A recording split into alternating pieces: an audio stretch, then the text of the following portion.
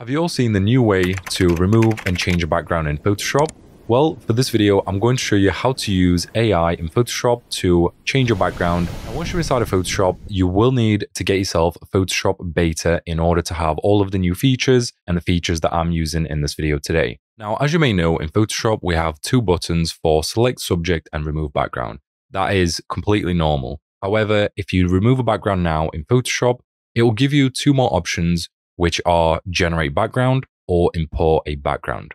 So if you're very specific on your background and you have an image that you want to import, you just simply click on here, select it, place, and this will automatically place it behind your subject, allowing you to upscale this and apply it onto your image.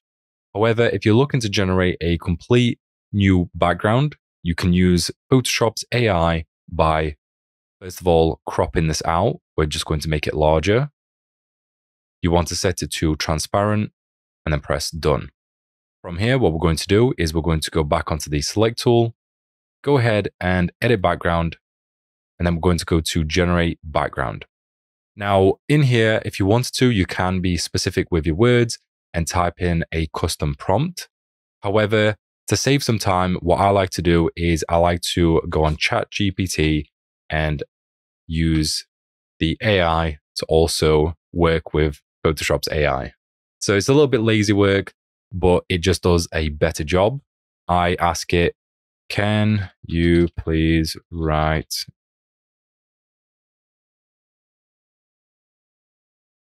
wave? This will generate you a prompt.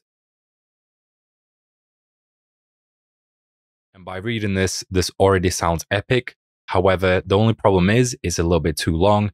Adobe Photoshop will not fit all of this text. So you just want to ask to shorten it down.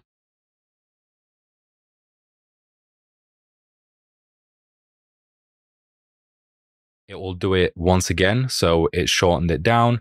You can also try copying this as well. And this one should definitely fit inside of here. So there we go you can go ahead and click on generate once you're happy with it and then just wait for Photoshop to generate that background. And that's not too bad. It's definitely got a very cartoonish look to it. We can have a look at the next one and that is actually quite interesting looking. I quite like the look of this one. And this one is not too bad either.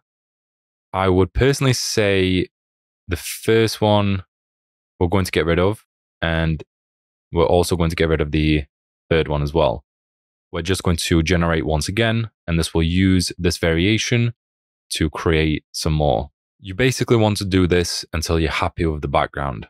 And there we go. That's not too bad. This one is definitely interesting. We also have this one. And once you're happy with it, you can also duplicate your layer.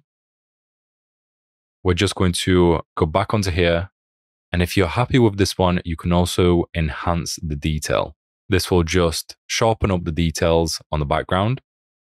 However, we have a new problem that has occurred. So this problem is simply because this image is visible. So what you need to do is you need to go back, undo. You want to hide this layer and then sharpen it up.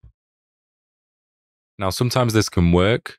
However, if you notice the edges are way too sharp, and they're looking a little bit odd, you will need to correct the edges if they are very noticeable. However, for now, this is decent. We can definitely settle with this. If you want to, you can also add some other effects or you can generate some things in the background. But for now, what we're going to do is we're going to focus on the person and the background to brighten it up and make it look a lot brighter. We can get ourselves the curves and we're just going to add one in the middle and just slightly adjust this to make it more dramatic and give it that cinematic look.